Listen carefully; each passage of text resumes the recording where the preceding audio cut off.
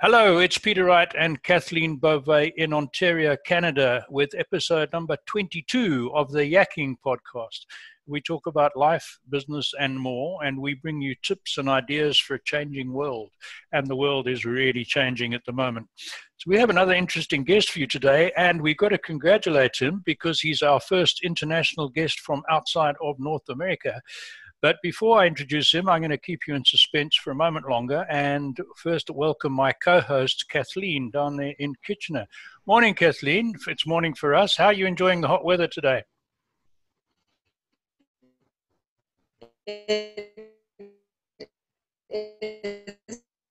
Definitely a, a. We're going to enjoy it. So thank you everybody for joining us again. We so appreciate you tuning in. And yes, we have another wonderful guest with us today. His name is Freddie Van Rensburg, um, and he's from Africa. He'll tell us a little bit more about himself. And uh, right now, Freddie, welcome. Please tell our viewers and listeners a little bit more about yourself.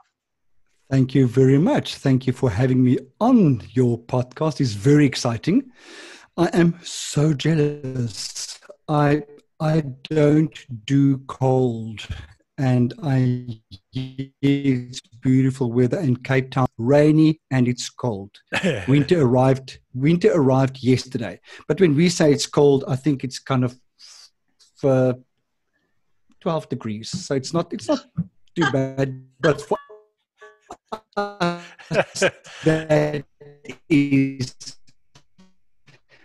that that is how cold it is on one end because this is where the heat is. Um, so I'm definitely jealous. So who am I? It's such a difficult question, right? Um, I am a 53 year old um, human being of the male species, and um, I suppose I wonder if that's debatable because we're also actually gay, and I am married to a wonderful 49 year old professor from the University of Stellenbosch in computer science. So we are we are an interesting couple. He is completely non-human. It's all zeros and ones, and I am all, all all about the human side. I don't understand numbers at all. so um, we, we, we, we meet in we, we meet in an interesting interesting space. I work as a um, my formal designation is a, I must always read it from the certificate on the wall is a um, specialist wellness counselor and an, an, an addictions counselor. And I qualified about four years ago. So I've been working for myself from home the last three years. And I am thoroughly enjoying life. I also host my own podcast called Meet Me in the Field, where I talk to people about their spiritual journeys. And then I also write books. That's the other thing I do. so I hope that that's enough about me. Well, we're going to get some more out of you in a minute as we go through because I think our, our listeners are going to find it very interesting. And it, and if my experience is anything to go by, they're going to be fascinated by your accent because uh, I, I do a fair bit of public speaking and people say, "Oh, we just love your accent. We don't hear it much in North America." So uh, you could have a whole new fan club from this interview. Let me tell you, oh, Freddie. Awesome. Be, before we get into more about what you do, you I know that you studied at UNISA, and yes I remember from my time in South Africa in the 70s and 80s, I'm sure I read that at that time, UNISA was the biggest remote, we, wasn't a term used then, correspondence um, university yes. in the world. Is that right? That's my understanding as well. And you got me thinking about it. And apparently, one of the biggest reasons why UNISA had such a huge student number was that a lot of, of people who were doing compulsory military service were studying through UNISA at, at, at that stage. Ah, so they nearly had kind of a, a, a sitting duck um, audience or, or, a sitting duck group group of students. Right. And that, that's, that's something I heard at that stage but I'm not sure if it if it's 100% true. But that, apparently, at the moment, they have something like 400,000 enrolled students from something like 130 countries. Yeah. And it's one of the mega universities. So, so, so they're really a huge organization. Yeah. yeah. But I did my my my first two degrees I did through through Rand Afrikaans University. Right. That, that is now called University of Johannesburg. Uh-huh. UJ. Yes. Okay, okay. And I thought I find it interesting that UNISA, with all the problems that South Africa had at the time, right, sanctions and embargoes and all that, and before the days of the internet, they were able to build that huge and successful yes. um, system. And even then, they had many stu- thousands of students from all over the world. That was interesting. Great. It will be interesting to, to see how UNISA kept the postal services going. yes, absolutely, absolutely. because now with the internet, the, the postal service is falling apart, and it's falling it's apart. because UNISA That's, kept them alive. yeah, I know that um, Kathleen has got something she really wants to ask you. I'm going to let her take over for a minute. Ah. No, uh, that's fine. Thank you, Peter. So, so Freddie, um, we are under you know some certain uh, restrictions here in Canada. How are yes. the restrictions been where you are? So, been a lot of lockdown. Yes, South Africa was under level five lockdown, which is one of the strictest lockdown regimes we've had in the world, apparently, mm-hmm. from I think it's the 26th of March, if I'm not mistaken. So we are currently on day, I think it's on like 61 of lockdown. We are currently on level four. Yeah, day 60. We, we're currently on day 60 of lockdown, and the, the level has dropped to level four, which means that very few people are now actually allowed to go to work. Um, there's a few stores that have opened, but they're all very, very limited and very strange, very strange dynamics in terms of decision making of what stores can sell. Like one store can open, but they they're not allowed to sell flip flops. They're allowed shoes. They're only allowed to sell T-shirts if you can prove that it's going to be winter wear. it's the weirdest, the weirdest stuff. There's no alcohol for sale. There's no cigarettes for sale. Um, so it's really, really weird. So, so we are dealing with an amazingly interesting dynamic of as a, as a, a counselor who specializes in addiction, I've been quite busy answering a lot of um, questions from journalists who want to, to, to write about this stuff. Sure. And it's really difficult because as, as, as I'm an addict myself, so I don't drink. I haven't used any mild or mood altering substances for the last 10 years and virtually six months. So um, I don't drink. I smoking. I haven't smoked for, for 10 years about.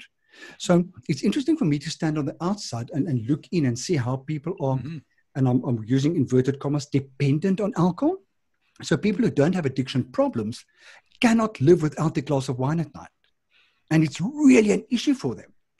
Um, smokers are struggling, but but the illegal trade in cigarettes are booming. I bet, yeah.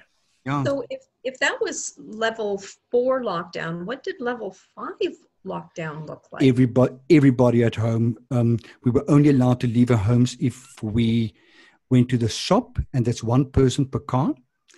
Um, masks on. Um, you, if you sought medical treatment, or if you were essential services going to work, wow. and you had to have the documents in, in your hand. There's loads of roadblocks, and if you stopped, you have to present your your paperwork and those type of things. Yeah, so, it was hectic. Wow.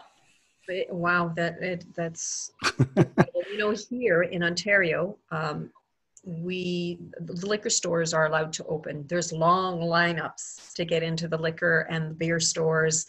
Um, so it's interesting how this is affecting people's psyche too. And yes. so, are you seeing what what are you seeing in terms of mental health with this? Wow, that's really an interesting question. What I'm seeing in my own practice is that lockdown happened, or the, the lockdown was was was announced, and we had four days to to prepare, mm-hmm. and that was kind of a, a, a, hectic period of people kind of. Oh my, oh my, oh my, oh my God, what, what's going to happen? And then lockdown happens, and then a week into lockdown, people get into their rhythm, and okay, it's not so bad. And there was a, a very interesting phase of I can do this. It's actually quite cool because suddenly the world went quiet. I, I for instance, switched off my phone, my phone tones because it's quiet. I, I, I, don't want it. I don't want to hear this constant beeping and, and, and things. And suddenly people didn't have to jump in cars and drive places. So, so they, their pace slowed down a little bit. Their people couldn't go out to exercise. So people started exercising at home. People who couldn't work started doing online courses. So it was a very interesting, let's use this phase to, to, to develop, to go inside, to, to seek, to, to find answers. And then suddenly, about two weeks ago, it was today's Tuesday, so it was Monday two weeks ago. It was as if, um, am I allowed to say a swear word? Just Yeah. a small one. Yeah. it, it, it, it was as if that weekend uh, kind of fuck this shit switch went off Yeah. and and suddenly from two mondays ago every person i spoke to was really struggling kind of i can't do this any longer this is now too much they've, they've lost hope they it, it, it, it, it turned really really bad and that and already there was an energy in the world that was extremely anxious fearful stressful um mourning. There was a huge mourning in the world. Mhm. and it's as if that everything just got too much and it collapsed onto people. So people are struggling at the moment. We really are struggling.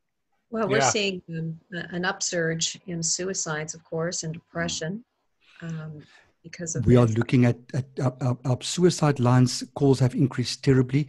Our um, domestic violence Mhm. call lines have increased terribly as well Yeah. very very much so Same here, same here. We, as Kathleen said, we, we were not as hard hit as you. And I personally, I'm really lucky. I've worked from home for 10 years. I live on a farm, so I can walk down a country road without seeing a person or a car. And because I'm an ex-Rhodesian and ex-South African, I'm an awkward bastard. So whatever the government says, I said I've got to disbelieve that. You know, on principle, they're lying. So I've been making myself really unpopular on social media. But the facts are that this disease is nowhere near what the experts said at the start. So I don't believe the damage to the economy and people's health and mental health is, is justified. But anyway, enough about that. So I've carried my life on my life very much the same. My Wow. My Me good lady partner has a lot more um, tolerance than me, so she goes and stands in line six meters apart to get into a supermarket. Mm. Um, and I just do my own thing and walk. Anyway, that, that's that. My, my concern for Africa is my, I have a son back in Zimbabwe, is we know that many of the black people can't buy a month's groceries. They, they live day to day, Oh. 24 hours. They, they have to go, I use the term advisedly, Oh. scavenge to survive today. Yes. How are those poor guys surviving, Freddie? Oh, Peter, that is you're you're bringing up something that makes me so sad. When the, the lockdown was was declared, I said to my husband, "I am so grateful that this is happening because my biggest worry is is is if the virus got into our informal settlements." Mm-hmm. because there people live six in in, in, in, Of a, course. in a four in, in a two by two, three by three hut type of shack. Yeah. And and they live very, very close to each other. Which turned out that I, I, I shouldn't really have been grateful for it because they, they actually couldn't do lockdown. It's nearly as if No. we, we ended up having two sets of rules. Right. One for the suburbs and and and and and and one for for, for, for, for the informal settlements because they, they could not live No. by, by the rules. How No. can you live a family of six in a in a three by three shack, Yeah, 24 hours a day, when nobody's working? Yeah. So the, the, the food parcel distribution places, NGOs and, and those places have been so busy. We've been inundated with calls for help, calls for donation, sure. calls for whatever. Just everybody help. And then there, there were the weirdest, again, rules that governments kind of suddenly said that um, they are the only people who can distribute food parcels. Yeah, and I read that. But you're not getting the food parcels to the people, and the people are, are hungry. Yeah, yeah. And it was just the weirdest, weirdest thing. And my understanding is that that the NGOs just kept on giving food parcels whether they're allowed or not. Kind of come and arrest us. Of course, you, yeah, you can't Yeah. let people stop. Freddie, um, get back to something um, that I wanted to ask you. Uh, when I moved from, when I lived in South Africa and Rhodesia, I, I, I- felt, and maybe wrongly, that yeah, alcohol was a problem for a lot of people. Alcohol, we knew of alcoholics and people, and even when I did my military service, I drank more than I should have done. But fortunately, when I finished the army, boom, and now I go months. I don't have booze in the house, and I'll go months without drinking because it's just not important. in my No, life. But are you human? yeah, But as far as drugs went, you know, I, I knew of a couple of guys or people who smoked dagga, which is marijuana, whereas dagga was yeah. our South African name. But it, it wasn't a major issue. And in my growing up years, hard drugs were just not heard of. So now I come to North America and I think all over the world, we see this huge drug issue. Is it really a lot worse than it has been, or is it just a lot more noticeable and accept, not accepted, but um, dealt with better than it was in the old days? That is such a difficult question to answer, but I'm going to try anyway. I think we're dealing with with with a few issues, of which one is that the world is much smaller. Yes. So with with media, the the the knowledge base is far more accessible. Mm-hmm. So we so we know a lot more about addiction and be a lot more aware of things like alcoholism, drug addiction, overeating, gambling, addiction, gaming addiction, um, sure. um, technology addiction. That's the w- huge one at this stage. And me as an addictions counselor is shocked about how little there is out there in terms of gaming and what I call screen addiction. Anyway, um, so we're dealing with this increased knowledge base, which raises awareness. And therefore, I think we, we, we see a lot more let's call it addicts out there right. because it, it, it, it is so much more there. More but then we're also dealing with, with the whole situation of I think the world has become more more life has become more difficult. After the, the, the industrial revolution, so much have has changed so quickly. Sure. And the, the, the people had had to adapt so quickly to so many to so many things. The the the start of, of, of, of the, the internet revolution has changed the world so fast that so many people are actually struggling with to, to, to stay with all the demands. Yeah. And where do people go? If you can't deal with reality, where do you go? That's right. You, you take something that takes you out of reality. So That's we are definitely seeing, seeing an increase of, of, of, of an actual increase of people who are addicted to, to whatever and an increased knowledge of addiction, which means people get more help. Right right, right. And and stress is different. Um, we have this mm. argument all the time. We I don't want to get into politics here, but um, when I left South Africa in '94, I went back to Zimbabwe and uh, was farming. Went through that whole farm invasion, and that was really really ugly. I ended up in jail for a few days. Uh, I don't need to go into detail, but you know what I'm talking about. But we we found we dealt with that stress with anger, but it, it was simple compared to the the modern day stresses of consumerism and paying credit card, ah, you know, it, I, I suspect that's uh, that's different, and that's why people have trouble. That's yeah. enough from me. I know it's it's Kathleen's turn. She's got more she wants to ask you. Can I just say one quick thing about sure. addiction anymore? Is the Afrikaans word is des nieteenstaande. What's the English word? Um, notwithstanding. Notwithstanding, yeah. Yeah, notwithstanding the increased knowledge, the stigma is still not broken. Oh no, we are still dealing with such a huge stigma, which which makes asking for help and acknowledging that you have have a problem still a no no. And in so, fact, so that, the, that's just interesting and in fact, the the prevalence of talking about it on social media could increase that stigma when you think about it. Because in the old days, you didn't hear about it, so you weren't you weren't um, exposed. But now, yeah. Anyway, yeah. yeah, you're right. I hear you. Kathleen, over to you. Uh, so, Freddie, I know on your website you go into the power of talking. Can you tell ah. our listeners a little bit about that? I think talking is an amazing, amazing, amazing treatment modality. And there's a few reasons for that. Number one is that have you ever walked with a problem in your head and the minute you started talking with somebody about it, you it's two two different parts of the brain work when you think and when you talk.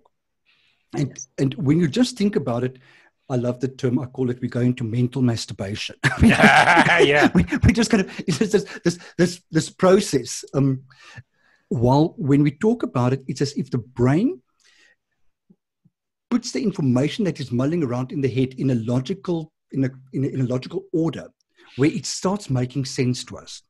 So in that regard, talking helps, but also there's something that that we call shame dies on exposure. So a lot of the stuff that we deal with in our heads, that we deal with in our lives, that we, that, that we are too ashamed to speak about, that also just becomes a I call that the mushroom treatment. We, we, we, we, we keep the, the problems in our lives, we keep in the dark and we feed it shit, and it will absolutely mm-hmm. bloom, grow, grow, beautifully like a mushroom. Well, the minute, the minute we expose it, it's like putting mushroom in the sun. It will, it will shrivel up. So a lot of the stuff that we walk around in our heads, the minute it, it, it comes out of our out of our mouths, it also comes out of our heads. Ah, so yeah. it's a it's a beauty it's a beautiful way to to to to to to, to give meaning, to give um, um, structure to the stuff that's going on on our head. And then if you speak to a counselor, even goes one step, or a therapist who goes one step further to connect the dots for you. Um, and I always find it interesting as a counselor that kind of how could you not have got connected those two events in your life? It mm-hmm. so logical. so, so talking therapy in that regard is, is, a, is a beautiful and a very easy and very accessible type of therapy. Interesting. Do you find that some of um, the people that you counsel, do they do, do any of them ever find that by talking about it allows makes them relive the situation. That's why they choose to bury it. Yes, how do you deal with absolutely? How do you deal with someone like that? That is, you know, they don't they're they're not talkers. They don't like to open up, and then all of a sudden they're with you and they're opening up, and it's just bringing everything to the surface all over again. Yeah, softly, softly, softly. It is. It's the one of the most important aspects of, of a therapist is to create a safe space for the client and when when when I pick up that the client's moving too fast, wanting to get the stuff out, I would invariably try to slow them down a little bit, pull, pull them back, to make sure that I can actually hold them in that space where they are. The last thing I want to do is for a client's emotions to run away. Um, in this process of, of, of, of runaway emotions, say, okay, your 50 minutes is up. Bye, see you next week. Mm. because I'm a, I'm a controlling, I'm also a controlling codependent. So if that client walks mm-hmm. out my door, I freak out because I can't keep that client safe. And I know that he's possibly not, not safe, whether right. he's going to, to, to use drugs or alcohol or suicide or what that case might be. So what we try and do is we try what we call hold space for that client. Let, let it come out, process, hold back the rest. Let it come out. And even if the client, during that week or that period that you don't see them, realize that this possibly wasn't a good idea, next week we, we go and pick it up. Um, one of the first rules of, of counseling is they say go and meet your client where your client is. And I say, absolutely, unless the client needs to go somewhere as well. And then you help them to go there. so I, I, always say, I may be gay, but, but, but, I, but I stay a male. I am task orientated. I want you to leave here with a result. right. so, so I'm, I'm, I'm, kind of a pushy counselor. let, let, let, let's get it out, but, but let's keep you safe. Interesting. Freddie, you, you spent most of your life in Johannesburg, but you're now in Somerset West, right? Yeah. Uh, what yes. was? Why did you move down to the lovely Cape? Ah, um, two things the first move was I was fleeing from a bad relationship. I was given the opportunity in 93. That was when, eh, Peter, you'll remember, South Africa had a very unique parliamentary system. Yes. Our parliament, our parliament sits in, sat in Cape Town for six months of the year, normally the first six months of the year. Yep. And then the whole of parliament split up and all the parliamentarians went to their constituencies all over South Africa. Yep. And then everybody who worked for parliament went back to their different departments. Right. So in 93, I was offered the opportunity to, to work as part of the personal staff of the Director General of Public Works and Land Affairs. Uh-huh. And that meant that I could come down to Cape Town for six months and then back to Pretoria. And in that December, a relationship broke up. And it was just one of those things uh, I, I can't. And just as, as I said, I can't, they said to me, do you want to go to Cape Town? yes, please. Yes. so, so, I virtually ran away from from a from a from a relationship. Okay. okay. And um, the kind of funny thing about that relationship is that the my my partner at that stage was actually a diagnosed schizophrenic, and I always say that I was I was so codependent that I couldn't see how bad the relationship was. That the schizophrenic right. had to tell me this is not working. Yeah. oh yeah. not, not good. And then, so I was in Cape Town for for for ninety three, And my soul, the day that I step off the, the, the, the aeroplane, 5th, 5th of January 1993, my soul said, You're home. And I'm a, I was from Transvaal, and Transvaal yeah. don't like the Western Cape. So That's I right. said to my soul, No, that can't be. And my soul said, Yes, you're home. And it, it took me a while to, to, to really listen to my soul. And then in 94, as a white Afrikaans male, I started looking for a job in Cape Town. Mm-hmm. Uh, not easy. I got one. You got one. got one. well, that's why I went. That's why I went back to Zimbabwe because as a white, yeah. even English-speaking male in '94, there were just no jobs, and I, my business yeah. had gone bust. I had no money, so my only choice was to go back to Zimbabwe. Yeah, yeah. it was a tricky I time. I actually got employed by a, a, a, a financial services company. They were okay. a private private portfolio management company who dealt with a lot of farmers. Ah, because right. they, they they got the the, the Langeberg and the Bonnita share, share registers, and they, yep. they they got those farmers who had those shares on board. And they suddenly realized that they don't have one Afrikaans person to li, to liaise with these farmers. Right. And because I had the parliamentary experience, I could I could communicate at that level. Yeah. So I was brought on board with no experience of portfolio management. They asked me in the interview, "Do you know what a portfolio management company does?" And I said, "Yes." Praying by God that they don't ask me what they do was I didn't. oh, good one, good one. All I knew was I wanted to be in Cape Town. I got the job. Yeah, Freddie, I've just had a warning that we've got about eight minutes left, so I want to give you a chance. Um, to Sorry, Kathleen, my- sorry, I'm stealing your question, my- but I, while I've my, started, my boy is joining. us. Ah, we Kathleen has two. I'm surprised we haven't got one of hers, and I have eight wandering around here I somewhere. might weird. We've got Uh, three. so I'm t- I'm stealing Kathleen's question, but while I while I've got you, tell us about your books quickly, and then how people can get hold of you. Oh, cool. So as I said that I I I entered recovery myself. That I I bring the alphabet. You know, I'm I'm, I'm an alcoholic. I'm a drug addict. I use virtually everything. I'm a codependent. I'm a sex addict. Um, so so my life my life was hell, and then in in on the 23rd of November 2009 some of some form of divine intervention happened in my life and i asked for help. And it's really divine intervention because i had no intention of asking for help that day. Um, so i asked for help got help went into rehab. And since that day i've been clean and sober. So i'm so so so lucky that i haven't picked up yet. And i got clean using the 12 steps and I became a complete 12 step junkie. And, you know, Mhm. I'm an addict, so I possibly got addicted to 12 steps, to AA meetings, to NA meetings, to Sex Addicts Anonymous meetings, to codependence meetings, to whatever. But it really worked for me and, and, and it made so much sense because it's a design for living program. So, so, so, so it took an amazing set of, of, of, of principles, which are all based in spirituality. You know, just be nice. Don't be a poephol. So you will know what poephol is. Oh, That's yes, I awesome. what right? poephol But- but- but, you know, it, it, it's all about just, it's all about just just be nice. You know, ju- just behave yourself. Just um, um, um, um, um, um, um, connect with the world on on on on on, on, a, on a real level. Stop lying. Stop manipulating. Um, let, let's find all those characteristics that that make you do all this terrible stuff. Get rid of them. And invariably, what we ask people is to find some form of of higher power. So. I grew up religiously, but but I, I really had problem with, with with the traditional concept of religion because of of of, of um, I felt very judged in the in the Mhm. church because of being gay. So um, I I said to, to to Mother Nature, come on, let's be my higher power. So Mother Nature is Natura, and we have an awesome relationship. And what I then realized is is the first book I wrote is called The First Layer. And that comes from a sponsee who constantly kept on relapsing. And he said to me one day at the at the retreat, kind of, Freddie, I'm so sick of this because I just feel worse about myself because I can't even complete the 12 steps in, in a period of being clean. Write something for me that I can complete the 12 steps in a clean period. So I did it. So I wrote the first layer. Within 21 days, you can work through the 12 steps. And he's now over four years clean. Great, so, um, great. so it works. Good. So I brought that book out. And then because, because the 12 step is designed for living, we learn how to live life.